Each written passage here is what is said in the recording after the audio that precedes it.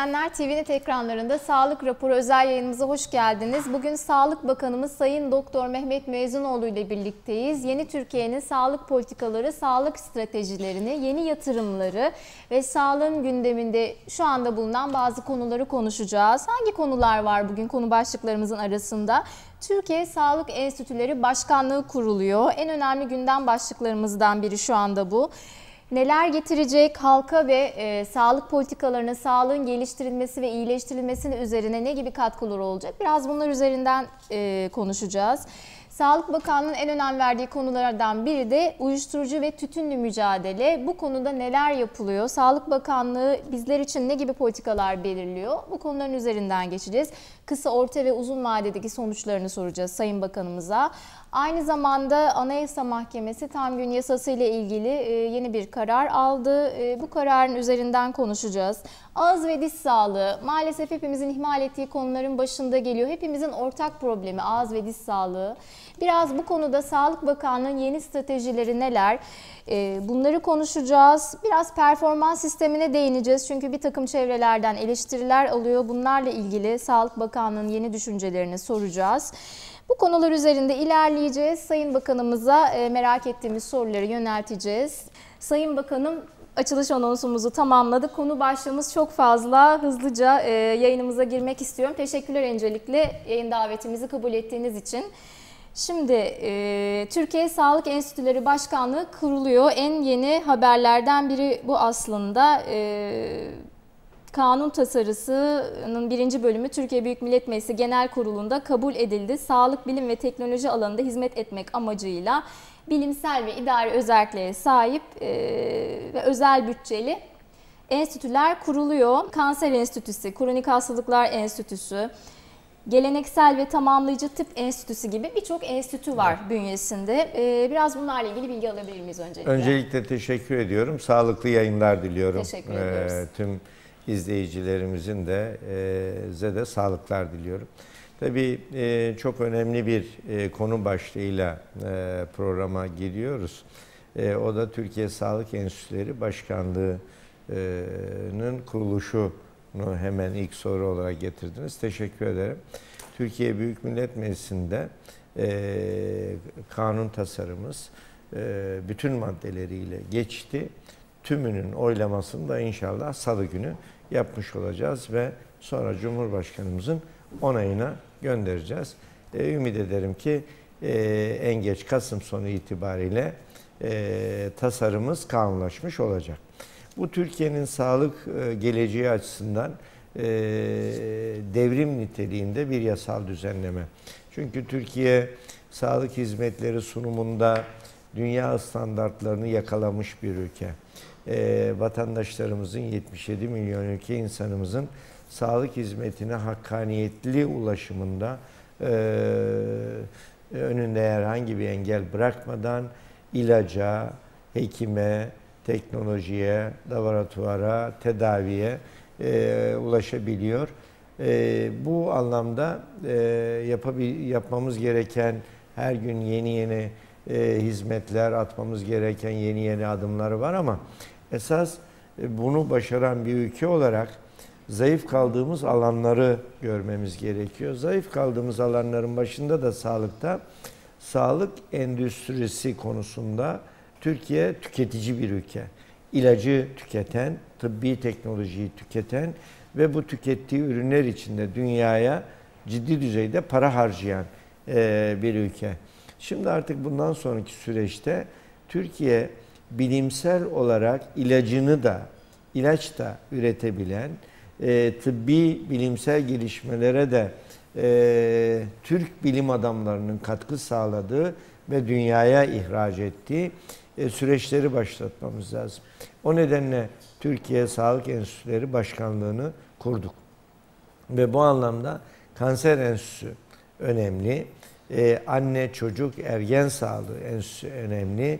Biyoteknoloji enstitüsü ki e, bu az önce söylediğim gibi e, Türkiye'nin e, diyabet gibi insü, insülinde, diyabet tedavisinde, kronik hastalıklar tedavisinde veya kanser gibi hastalıklar tedavisinde artık Türkiye'nin argesi, araştırmaları e, hem şu alandaki tedaviye bu ilacı biz bulduk diyebilmek ve bulduğumuz o ilacı hem toplumumuzun tedavisine sunabilmek hem de dünya insanlığının tedavisine sunabilecek bir vizyonu e, getirmemiz gerekiyor.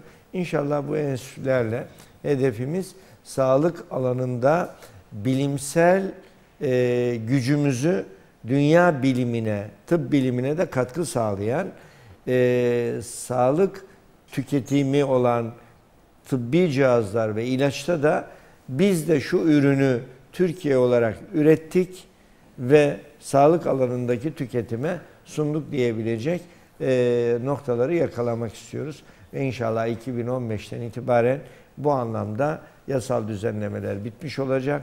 Enstitülerimizle ve e, sağlık alanındaki ARGE e, araştırma merkezleriyle birlikte onların projelerine destek vererek o anlamdaki projelerin sonucuna ulaşmasına katkı sağlayarak inanıyorum ki Türkiye sağlıklıkta tüketen bir ülke olduğu gibi üretip hem kendi insanına sunan hem dünya insanlığına da sunan bir ülke konumuna e, gelmeyi hedefliyoruz. Yerli ilaç üretimi, yerli aşı üretimini evet, destekleyecek evet, bu enstitüler evet, vasıtasıyla evet, destekleneceğini de o zaman buradan e, müjdesini vermiş olabilir, olalım yerli e, üreticiye. Peki şöyle devam etmek isterim Sayın Bakanım. Uyuşturucu ve tütünle mücadelede de sizin çok önemli e, bir konu başlığınız olduğunu biliyorum. E, ve Türkiye toplumunun %95'inin sigaradan uzaklaştırılması planlanıyor. Sizin tütünle ve uyuşturucuyla mücadele kapsamında ve 2014-2018 e, döneminde Ulusal Tütün Kontrol Programı'na göre yeniden kısıtlamalar getiriyor. Mevcutta zaten tütünle mücadelede, uyuşturucu mücadelede birçok çalışmamız yapıldı. Bunların e, çoğunlukla da başarı kazandığını görüyoruz. Bundan sonraki yol haritamız ne olacak? Tekrar buna ağırlık veriyorsunuz. Şimdi bir defa e, burada önemli olan kamuoyunda toplumsal bilinci yükseltebilmek ve bir sağlıklı yaşam kültürü oluşturabilmek. Şimdi bir de e, bugün kamuoyumuzun bilmesi gereken bildiği bir konu var. En çok korktuğu hastalıklar nedir diye sorduğumuzda bir, kanserden korkuyoruz. Kanser olmaktan. İki, kalp hastası olmaktan korkuyoruz. Üç, şeker hastası olmaktan korkuyoruz. Yani toplumun hemen bilincine baktığımızda hasta olmaktan korkuyoruz da hangi hastalıklar diye saymaya sayın dediğimizde toplumumuzun hemen hemen yüzde doksanı Baştan kanser diyor, ondan kalp hastası diyor, sonra da şeker hastası diyor. Doğru mu? Doğru. Dünyanın da bugün en çok ölüm nedenleri arasındaki bu üç hastalık bu temel kronik hastalıklar e, diye söyleyebiliriz. Şimdi bu üç hastalığında temel nedeni ne diye baktığımızda toplumun o temel nedenleri çok iyi bilmesi lazım. Kanserin de, kardiyovasküler hastalıklarında kronik hastalıklar, diyabetinde en önemli nedenleri üç tane. Bir, sigara ve kötü alışkanlık. Dolayısıyla sigaraya karşı toplumsal bir bilinç oluşturmamız lazım. Ben sigara içiyorsam güçlü bir kanser hastasıyım. Ben sigara içiyorsam güçlü bir hipertansiyon veya kalp krizi hastasıyım, kardiyovasküler hastalık adayıyım. adayıyım e, sigara içiyorsam dolaşım bozukluğu ve diyabetin yine bir farklı adayıyım. Dolayısıyla sigara ile mücadeleyi bir içenler adına kendisine değer veren, kendisine saygı duyan bir bilinçle bir an önce bırakmasını istiyoruz.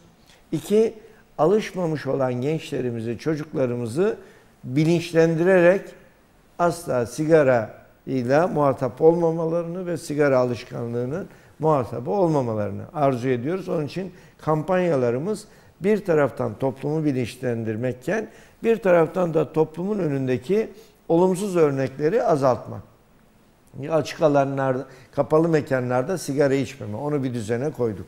Şimdi açık alanlar, parklar, çocuk parkları, işte açık hava restoranları, açık ala, e, alandaki çay bahçelerinde Diyoruz ki gelişi güzel her yerde sigarayı alıp e, parmağının arasına içmemelisiniz. Açık alan olsa bile. Olsa bile içmemelisin. Yani ben bir restorana gidiyorum açık alanda, bahçede ama yan masamda yani birilerinin dumanının altında pasif işçi olmamalıyım veya benim masamdaki çocuğuma, torunuma yan masa kötü örnek olmamalı.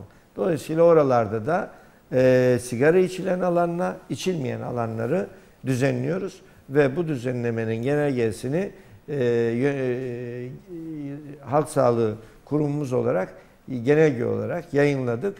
Biz de ilerleyen zamanlarda sigarayı e, bırakmak isteyenlerin kesin bırakabileceği çalışmalar yapıyorsunuz. Biz de devlet olarak arkamıza bakanlığı hissedersek sanıyorum bunlar çok daha kolay olacak. O yaptırımlar bizi de bırakmaya ittiren sebepler arasında geliyor aslında. E yani yaptırımlar önemli, kurallar önemli e, ama e, toplumsal bilinç, hele hele sağlık bilinci önemli.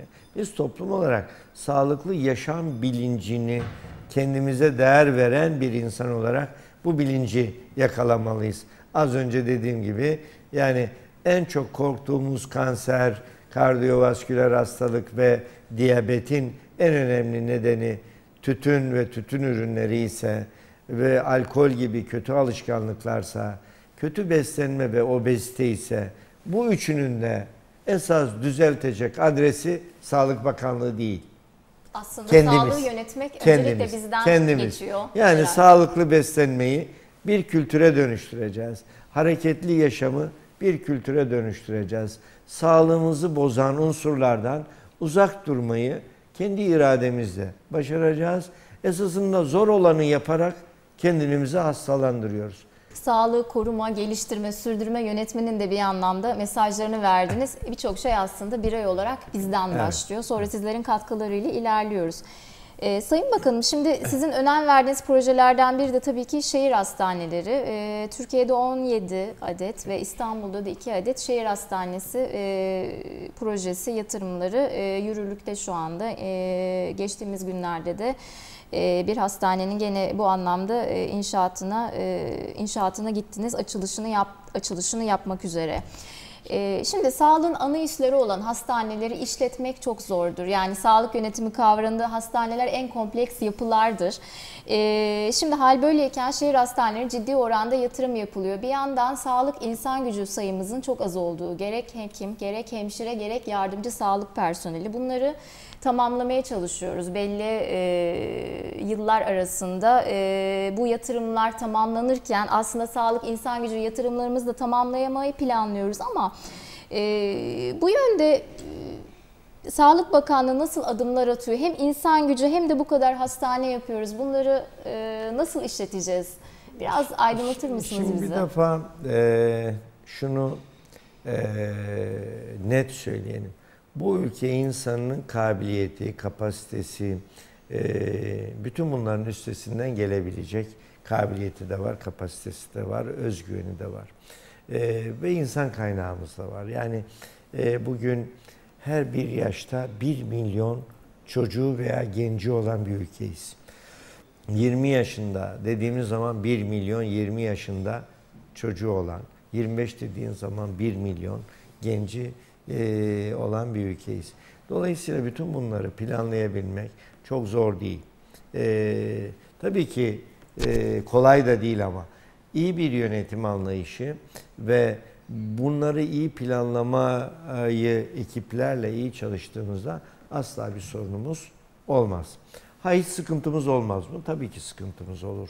Ee, ama doğru olanı, iyi olanı, daha iyisinin peşinde koşan bir yönetim anlayışı bütün bunları geçtiğimiz 10 yılda AK Parti 12 yılda AK Parti iktidarı döneminde 12 e, yıl önce ya bütün bunlar zor denilenlerin bugün yapıldığını gördük.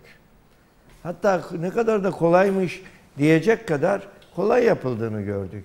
Yani acil hizmetleri, bugün ambulanslarımız, helikopter, ambulans helikopterlerimiz, ambulans uçaklarımız, son derece modern devlet hastanelerimiz, hastanın e, hastaneye ulaşımı, fiziki mekanlar, teknolojiler bunlar 15 yıl önce bu ülke insanına hep şu cümle söyletilirdi.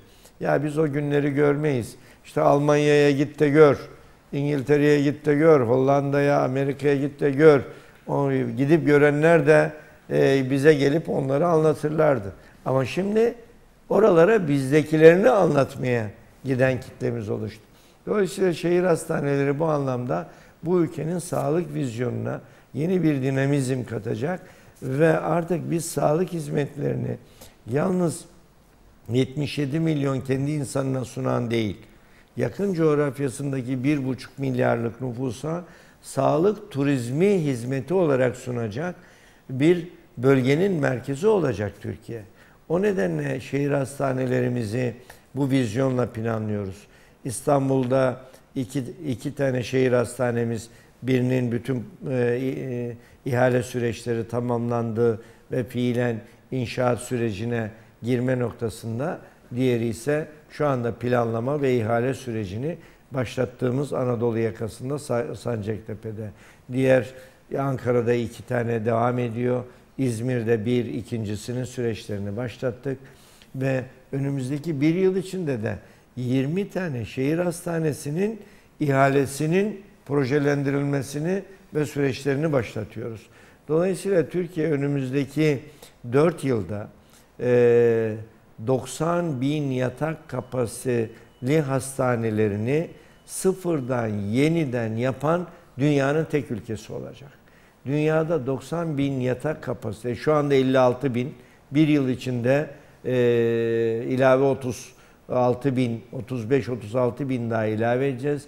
90-95 bin yatak kapasitesini 2018 sonuna kadar sıfırdan yeniden yenilemiş, ileri teknolojiyle donatmış çevre dostu hastaneleri bu ülkenin, bu milletin hizmetine ve yakın coğrafyamızdaki bölge insanının sağlık hizmetine sunacağız ve dünyada tek ülke e, olacağız bu anlamda. Zaten yatak kapasitemizin bu yüz, e, üçte ikisini oluşturuyor bu 90 bin. Üçte birini de son 10 yılda yeniledik. Dolayısıyla son 10 yılda yatak kapasitesini sıfırdan yenilemiş tek ülke olarak sağlık hizmeti sunumunda güçlü bir ülke olacağız. Biz zaten tıp hizmetinde hekimlerimizin tıbbi birikimi anlamında dünyanın en iyi ülkeleriyle yarışabilecek tıbbi birikimimiz var. Yani kalp ameliyatları, kardiyovasküler cerrahi, organ nakilleri, e, bütün en ileri tıbbi tedavilerde Türkiye dünya ile yarışır durumda. Mesleki anlamda bir yetersizliğimiz yok. Hekim sayısı anlamında bir yetersizliğimiz var.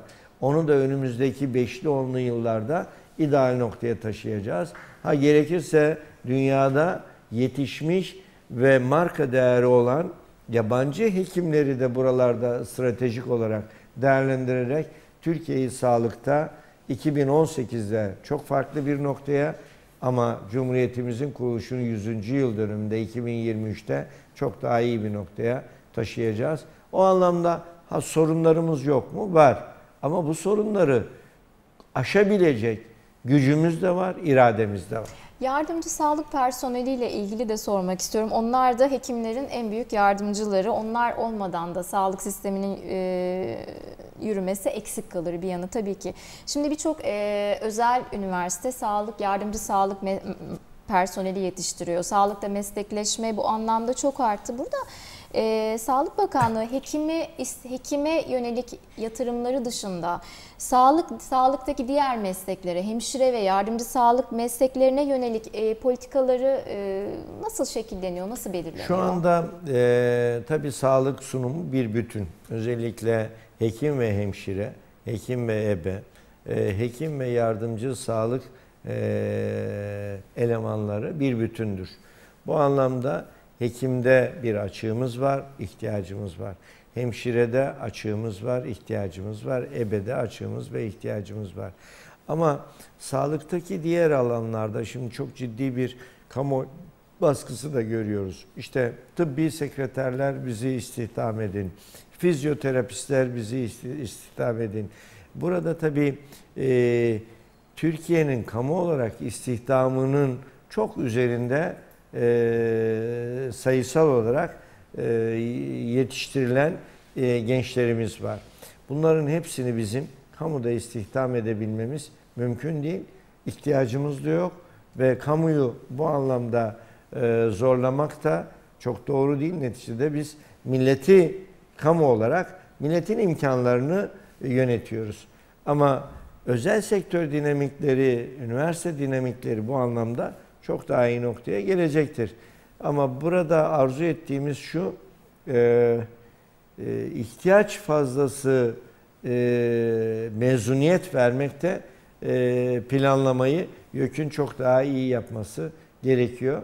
Şu anda bile tıbbi sekreter konusunda biz mevcutların e, %20'sini ancak e, kamuda istihdam edebilsek bile %80'i için bizim kamuda ihtiyacımız yok. İhtiyacımız olmayan bir alanda da kamuyu e, yığmak e, millete haksızlık olur. Değerli Sağlık Raporu izleyenleri, Sağlık Raporu özel yayınımız Doktor Mehmet Mezunoğlu ile birazdan devam edecek. Görüşmek üzere.